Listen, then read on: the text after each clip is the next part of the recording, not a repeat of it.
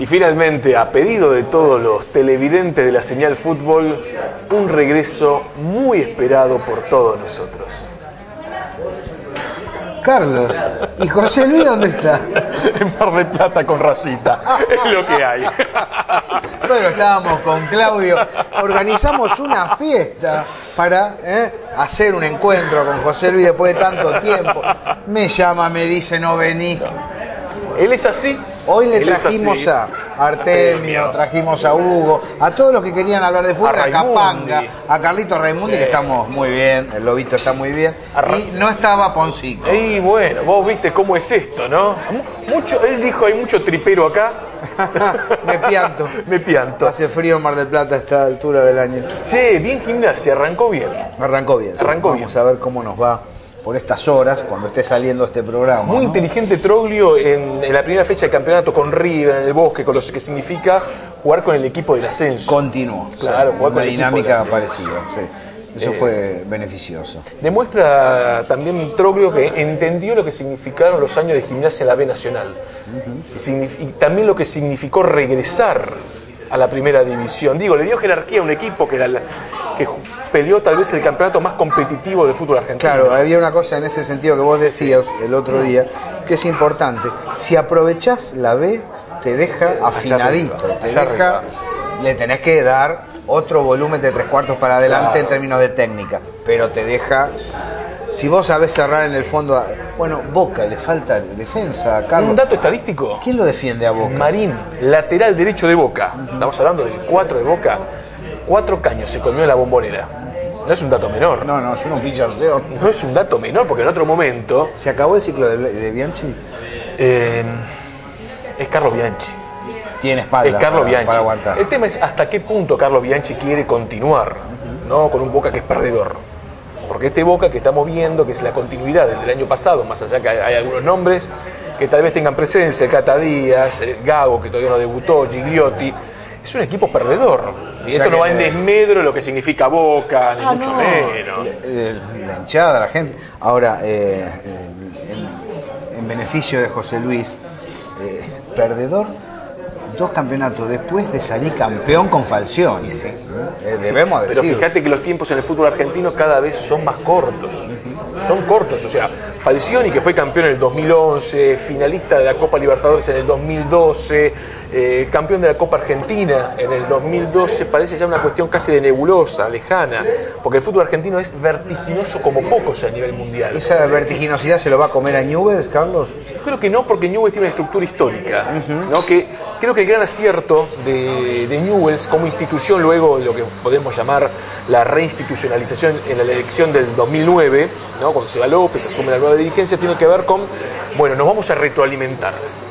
Queremos ser Newell's nuevamente. Fíjate que se va el Tata Martino, llega Alfredo Berti como entrenador, primera experiencia, pero Alfredo Berti... juega muy parecido. ¿eh? Alfredo Berti es un hombre del club.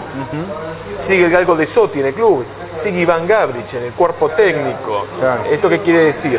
Es una estructura institucional la que está detrás de, de Newell's. Más allá de un técnico con su cuerpo que se va. es otra cosa, Claro. es otra cosa. Tiene que ver, bueno, cómo nos paramos nosotros como Ojalá, institución. porque le hace bien esa escuela de fútbol no, a vendría, la no- Argentina. no vendría bárbaro, ¿no? Que los clubes recuperaran ese... ese ¿River va a recuperar esa escuela?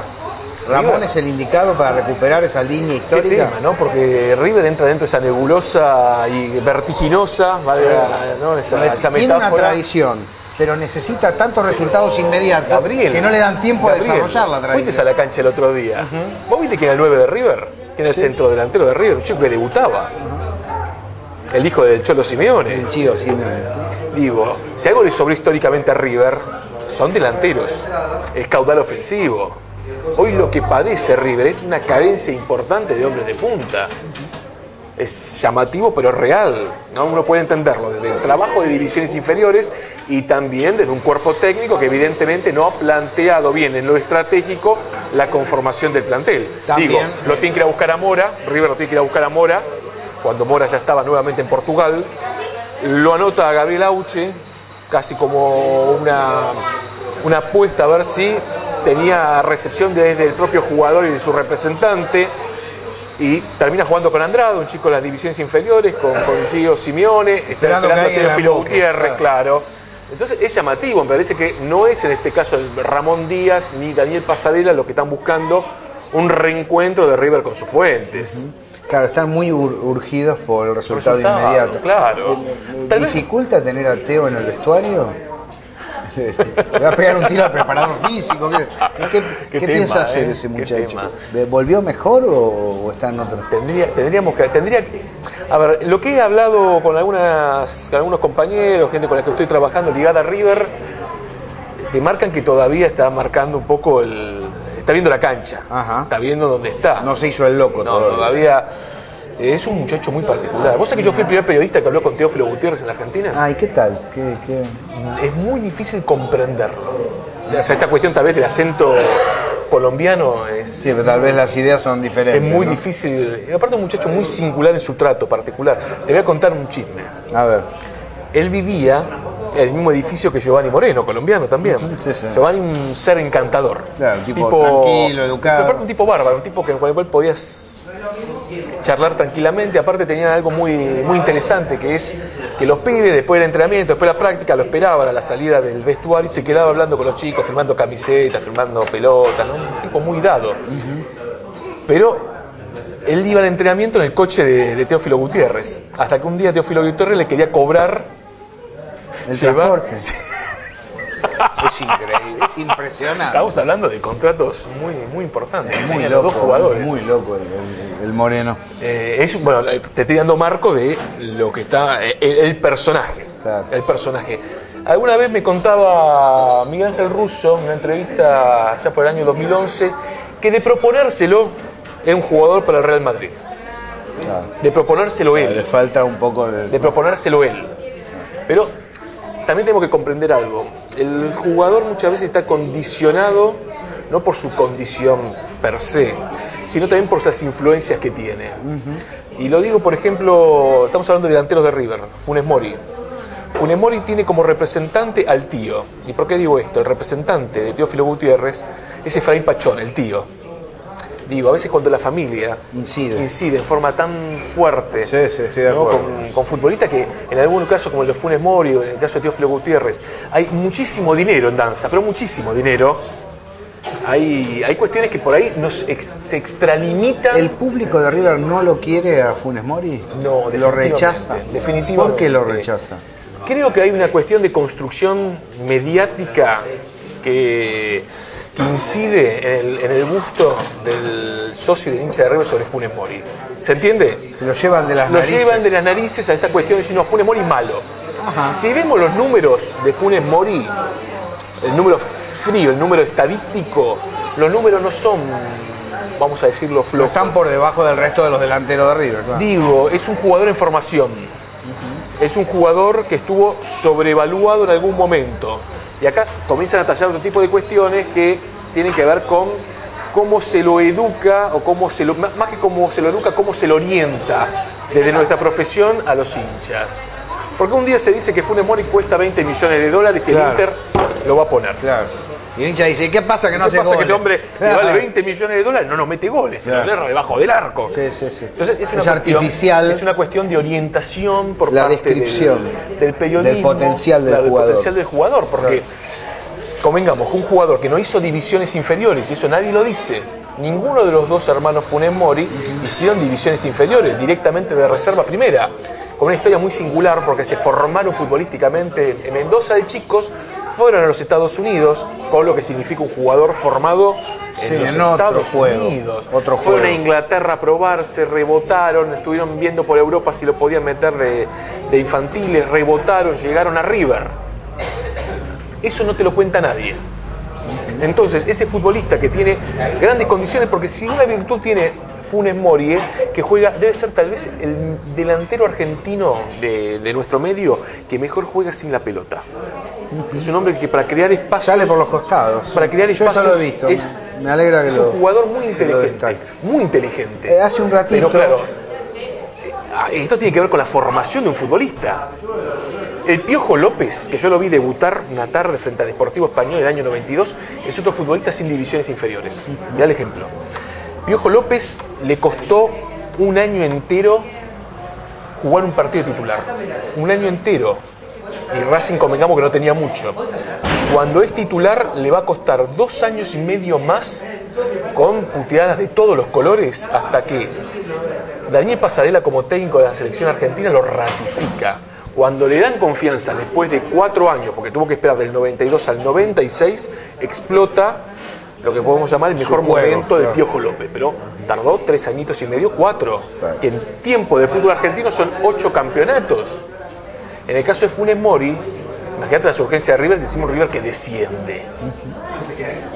Por eso me parece que Sí, la falta de es- tiempo, la es- urgencia. es la necesidad por parte de los comunicadores de orientar en forma correcta a los socios y a los hinchas. Hace un ratito, cuando se despedían los amigos de mesa de periodistas, vos decías San Lorenzo. Hay que prestarle atención a San Lorenzo. Porque San Lorenzo es una institución que. ¿Qué pasa? ¿Y Tinelli puso no, la- no pasa por la guita? No, no, no pasa por la guita. Es Están usando mejor las inferiores, Claro. compraron bien. Claro, ¿Qué- no, ¿Cuál eh, es el cambiaron, misterio? Cambiaron la cabeza. Pizzi, ¿cuál, ¿Cuál es el, Cambiaron la cabeza. clave? Cambiaron la cabeza. Y eso es interesante como ejemplo. Y lo puedo contraponer, por ejemplo, con Racing. Con dos clubes de características similares, San Lorenzo, un Racing. lindo plantel y no- no Sí, despega, Pero ¿no? tiene que ver con. A ver, vamos con San Lorenzo primero y después Dale, te, dale. te explico lo de Racing. Sí, sí, que los televidentes de Racing se queden, que son muchos, ¿eh? para conocer el misterio de la cadena. Y, y después me dicen cosas los televidentes de Racing, pero no importa. En el caso de San Lorenzo, San Lorenzo tuvo en la B Nacional 55 minutos. En el año 2012. Última fecha, San Martín de San Juan. Bueno, se va el que era el presidente de aquel momento. Y recordemos cómo se va. Sí. ¿no? Todas las circunstancias, ¿no? La, la- la reunión de socios. Cuando llega. Hasta se habló de un golpe de Estado Se habló de una motorizado por el mundo del espectáculo. ¿no? Una interna muy fuerte, la salida de Caruso Lombardi, no, la promoción Siempre con el Instituto de por Córdoba, cierto, no claro. importa. Eh, llega Marcelo Tinelli y llega su gente, ¿no? San Lorenzo es un club que es muy complejo, puertas para adentro, muy complejo. Para darte un dato, Gabriel, es el club que tenía la mayor cantidad de juicios civiles en la Argentina para el año 2011. Esto quiere decir empleados, Sí, sí, sí. todas esas personas que vos no ves y que son parte de un club, bueno, la mayor cantidad de juicios la tenía San Lorenzo de Almagro. O sea, un maltrato con el sindicato, una falta de UTEDIC, consideración. por ejemplo, un juicio con UTEDIC que Porque- puede llegar a ser terrible. Claro, porque además cuando te sentás a hablar con UTEDIC, UTEDIC entiende. Eh, Si, si Claro. tenés juicios es porque no te sentaste a hablar. La cuestión es que eh, San Lorenzo, lo que te decía en relación de esta cuestión de cambiar la cabeza, tiene que ver, por ejemplo, no llegan más jugadores a préstamo sin opción. ¿Cómo zafamos una situación difícil? Piensan muchos dirigentes, como la que vivió San Lorenzo con el promedio del descenso. Claro. Intentamos traer buenos jugadores o que tengan cierto cartel. Después vemos, claro. Y después vemos qué onda. San Lorenzo en este momento solamente adquiere jugadores, en el caso de Manuel Más, que pagó Contrato. los 8 millones de pesos que le pidió San Martín de San Juan, pagó Cauteruccio, gran jugador, Le dio buen delantero, ¿no? le está dando está dando. resultados. Ya le dio resultados a Quilmes, Atenti. O si no, sí o sí son jugadores a préstamo pero con opción. Y no es un dato menor, porque el fútbol argentino, donde a veces es difícil rascar una moneda para comprar un futbolista, tener una opción de compra lo que te garantiza es justamente la posibilidad de formar un plantel estratégicamente pensado a futuro, porque si el futbolista anda bien y no tiene opción, tenés que negociar el dinero después. También se observó en el armado de el arco y la línea de cuatro. Sí. El arco no se orientaron por los nombres, sino por el rendimiento. Eso también es importante Sí, a la hora sí, de diseñar. Eh, pensaba Y Pizzi es un tipo que- cómo será el vestuario de Argentino Junior con Migliore, Caruso Lombardi. Una situación muy No, intensa. y, lo que, y lo que sucedió, ¿no? Y lo que Falta que lo inviten al Rafa para, para charlar y tomar un café.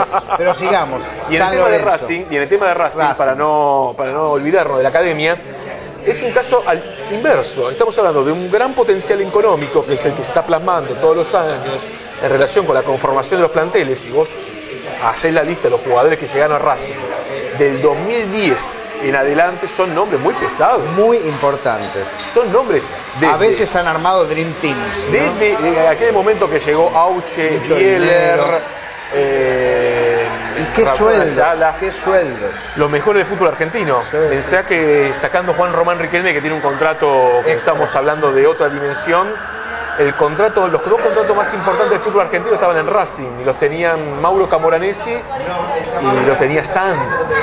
Estamos hablando de que Racing paga muy bien y trae Y no jugadores. Ahora, me parece que, y acá parafraseando al maestro José Luis Poncico, hay gente en el mundo de Racing muy importante que está haciendo el curso dentro de Racing, lo que eh, obviamente complica la situación. Y no, no estamos hablando de, de gente menor, estamos hablando del presidente, de Gastón Cogorno, estamos hablando de un manager. Porque Racing tiene un manager con mucha presencia, que es Roberto Ayala. Yo te digo, Gabriel, Ayala jugó en River, jugó en el Napoli, jugó en el Milan, jugó en el Valencia, Sí, sí. jugó tres mundiales, fue capitán de la selección argentina y declara públicamente que el equipo, él siendo jugador con casi 20 años de primera división, que más le costó fue Racing, contratarlo como manager de esa institución Sí. es llamativo. ¿No? Hay un cambio de divisiones inferiores. Racing lo que tuvo también, y esto es mérito de Juan Barbas, que fue despedido Juan ¿Sabes Barbas, que, eh, es eh, una enorme cantidad de Eso fue un error sacarse a Barbas. Terrible, pero tiene que ver con la gente de. Escuché una teoría que Digo, no, que no y- tiene mucho digo, sentido, y un- pero está buena para reflexionar, asentada en Racing con origen en Colón de Santa Fe. ¿Sabes qué? Claro. ¿Cuál es el comentario? Claro. Están cómodos. El comentario es ese. Saben que acá ganan bien. Cobran. Cobran en término, no van a tener problemas, no van a tener problemas legales. Hay una exigencia normal porque tenemos cuerpos técnicos razonables, no hay una locura de cuatro turnos, digamos. Y Cobran. Porque... necesitan tener un poco más de hambre y no en un sentido cruel, de gloria. ¿no? Vos sabés que- Necesitan no afirmarse tanto en la economía personal y familiar, sino sabés que- desarrollar. A mí cuando me lo explicaron, sobre Sí, todo gente sí, de Santa Fe me lo decía, digo, puede ser, pero me cuesta eh, arrancar por ahí para un análisis Los jugadores de. Colón la pasaron muy mal, pero muy mal, y esto no tuvo dominio, no fue de dominio público, cuando perdieron el clásico Unión a puertas cerradas. Sí, claro. Porque si bien fue a puertas cerradas, Unión ya estaba descendido, Colón no jugaba por nada. Ganó el primero y el último del ciclo de Unión Claro, en primera. claro. Yo me acuerdo de eso, sí.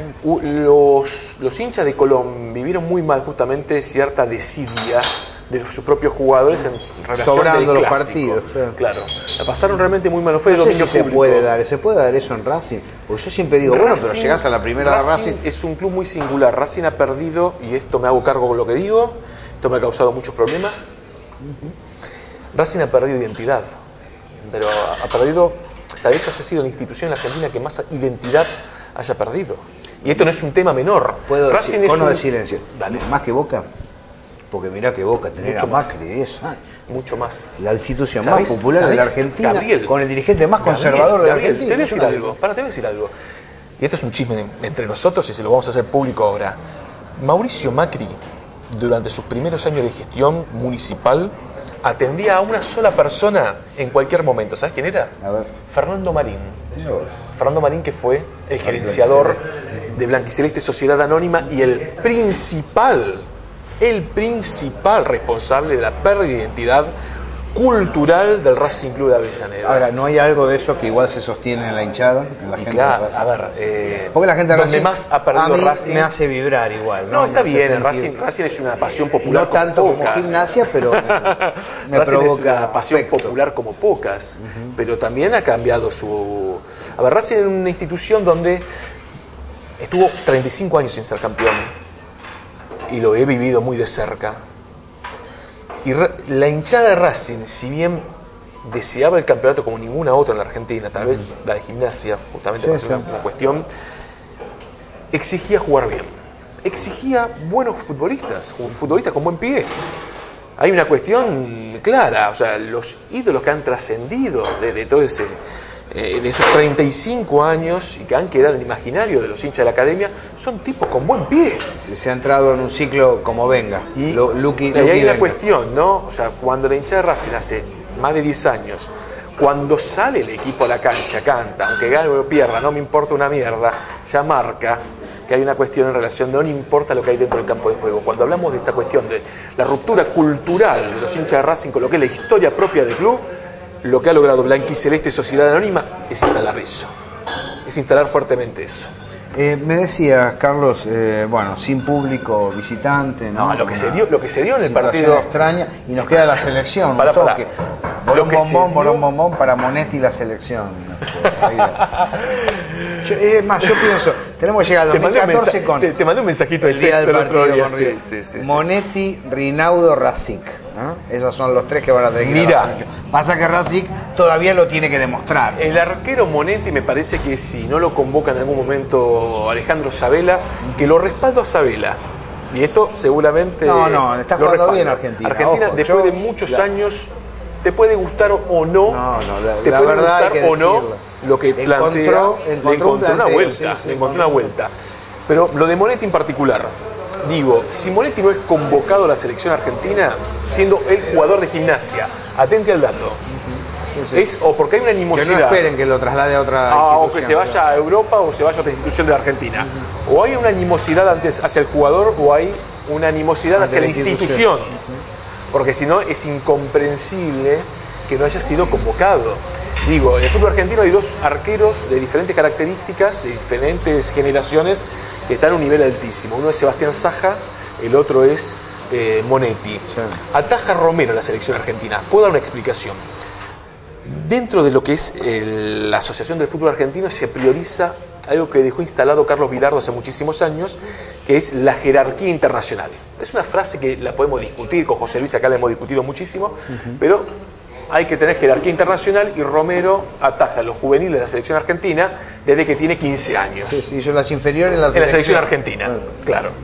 Entonces, se prioriza ese conocimiento que tiene Romero. Ahora, lo vemos en el arco de la selección y decimos, para, Yo lo tenía bien caracterizado a Orión, y lo, creo Sí. que es un gran arquero, pero guarda, vos no puedes lesionar un pibe un, compañero, un compañero. No puedes lesionar, además, un pibe en un entrenamiento. compañero. Porque no estaba peleándose con Clemente Rodríguez, digo, estaba peleándose con. Con paredes. Vamos, vamos a hacer. No. Ahora, eh, Seamos- quería- seamos claros, Claro, es claro. mala leche. No, no, no, Eh, eso no es- existe. es- claro. Y eso de que me la pisan y no me la pueden pisar porque tengo tantos años. Es mala leche. No me joda las pelotas. Digamos las cosas como son. Y el, eh, sí nos queda el tema del público. Yo sufro viendo, pero sufro aún como local. Veo el, el- el costadito ese vacío y digo, ¿para qué? Si podría haber un contraste, está bueno, el otro color, ¿eh? la dimensión del canto, el contraste. Y además, El espectáculo en A sí. ver, corregime, Carlos, vos que venís estudiando el tema. Los últimos líos se armaron entre Propios, propios. las hinchadas, no con la otra, o entre la policía y la hinchada, pero no con la otra hinchada. No, no, ha cambiado el. Vamos La a decirlo de alguna forma, la lógica de la violencia. Claro. ¿no? La violencia tiene que ver con la enorme cantidad de dinero que se maneja en el fútbol, que manejan los clubes, y viene enquistada la barra. ¿no? Esto está claro. Eh, digo, la Asociación del Fútbol Argentino tiene que dar una solución valedera. Valedera, porque lo que se ha inventado hace horas nada más en el estadio de Huracán de Corrientes al generar una entrada para público imparcial. Ah, yo puedo ir ahí, a esa tribuna. Claro, digo, Usted es imparcial. Yo voy a la cancha a tomar sol. Claro, No, en la entrada, como no. A ver, esto tiene que ver con la seguridad. Cuando se organiza la seguridad de los estadios, cada cancha tiene asignada una tribuna que se considera visitante. Sí. ¿no? Por ejemplo, el otro día que estuve en Córdoba, en el, en Mario Alberto Kempes, una cabecera estaba clausurada y no había hinchas de Sarmiento. Eran todos hinchas talleres, pero estaba clausurada porque se como destina, dirigente de- de sí, Sarmiento. Se destina para público visitante. Entonces es muy llamativo. Y bueno, ¿por qué está clausurado? Bueno, porque esa es una disposición de la Asociación del Fútbol Argentino y los organismos de seguridad pertinentes. Es una locura, una locura. Porque podía estar más, más, más cómodo el público, porque podías tener otra visión, porque tenías ahí esa cabecera. Es una. Es una, bo- es una gilada. Ahora, el público de Independiente fue a Corrientes. ¿Cómo no va a acompañar a Independiente en este momento? Claro. ¿Cómo no lo va a acompañar? La Asociación del Fútbol Argentino no habilita esa cabecera donde estuvieron los hinchas visitantes. Entonces la manganeta es generar un nuevo espectador en el, en la El pseudo la visitante entrada. que la va de imparcial. Claro, es imparcial. Una locura. Es el parche Y continuo. va, va con la camiseta suplementaria. pero acá hay un tema. Claro, la acá hay un tema que tiene que ver con el. La de referir, dice Claudio. Yo soy hincha del Liniman. Vamos, Gómez, vamos. Esa banderita. Bueno, vos sabés que en la época de Castrilli, Castrilli era aplaudido en muchas canchas cuando salía a la cancha. Pestarino y Nimo eran aplaudidos, ovacionados. Bueno, Nimo porque era un showman. Guillermo Nimo Era un era, showman. Sí, pero era ecuánime. Jugabas tranquilo. Con Nimo y con Pestarino jugabas tranquilo. Bueno, es- Estábamos que Dios- hablando que Dios lo tenga en la don otra perspectiva, no desde los cuadros no, grandes. eh, en relación no con esta cuestión, no es una vuelta de tuerca tazote, no hay una solución, es una cosa vergonzosa. Y lo que me parece a mí, No este es un tema No uno, se, no se confía uno, en el y dos, público. eh, algo que estamos se, se discutiendo. piensa que el público está representado por cuatro tipos que se tiran tiros. algo que estamos discutiendo muy a fondo acá en la señal fútbol ¿no? y también en el espacio de la señal, que tiene que ver con el negocio de la seguridad. O sea, cuando discutimos en la Argentina votos, como el domingo pasado, cuando discutimos cajas electorales, cuando discutimos municipios, cuando discutimos fútbol, no fútbol en el juego en sí, sino en, la- en su totalidad, estructura, en su estructura, discutimos el negocio de la seguridad. Tal cual, tal cual. ¿no? Y es un tema complejo, por ejemplo, la cancha de Racing. La cancha de Racing debe ser, para ver fútbol, tal vez una de las más interesantes y más Sí, bonitas de la Argentina. hermosa, claro. ¿Sabe cuántos pulmones tiene? 11. 11 pulmones. O sea, 11 lugares donde No hay público. no hay público en relación con que ha decidido el organismo de seguridad correspondiente a la provincia de Buenos Aires, sea cual sea. Los de la platea H para que no se peleen con los de la platea G, aunque sean todos de Racing. ¿no? ¿no? Es una cosa llamativa. Pero bueno, esas son las cuestiones que también tenemos que discutir. Porque si no nos quedamos con algunas cuestiones que son muy, muy Hay alguien que quiere echar a la gente de las canchas. Y a mí cuando quieren echar a la gente de algún lado no me gusta. Vos sabés que esa es una discusión, ese es un debate, porque el fútbol está televisado en, casi en su totalidad.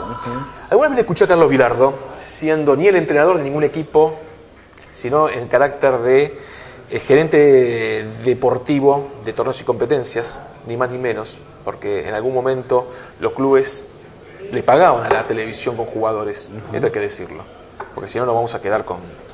Le vamos, vamos a engañar. Con información, Nos vamos a engañar a los televidentes. En los años 90, a principios de los 90, torneos y competencias recibía pases de jugadores. ¿no? A ver, el Pepe Albornoz. Pepe Albornoz, torneos y competencias, lo dio a préstamo a los clubes que necesitaban un adelanto de televisión, una cosa llamativa, pero real. Te estoy dando un nombre. ¿Cómo lo disfruté en el Un 96? jugador bárbaro. ¿Cómo lo disfruté con Racing, Márcico, Racing, Racing armó? Racing armó en el año 1994 un equipo que le dio torneos y competencias. Y tenía que ver con el dinero que había pedido por adelantado Juan de Estefano siendo presidente de la institución. Qué loco, ¿no? Y bueno, a ver, eh, Argentino Junior fue a jugar a Mendoza, siendo Carlos Vilardo el director deportivo de la empresa. Carlos, Digo, antes de- eh, dijo en aquellos días, y no me quiero ir justamente a ese punto, que los argentinos nos íbamos a tener que acostumbrar a ver el fútbol por televisión. Y es una decisión empresarial. Sí. Aún por televisión una cancha vacía queda fea. no es solo el tema de la cancha. Es horrible. Te quería felicitarte a vos y a José Luis y a Claudio Fortuna por la señal fútbol. Lo disfruto enormemente cada vez que sale al aire y hacen un trabajo espléndido. Bueno, eh, volvé más seguido, Gabriel. Y voy a ver si me encuentro a José Luis. Gabriel Fernández, director periodístico de la Señal Medios.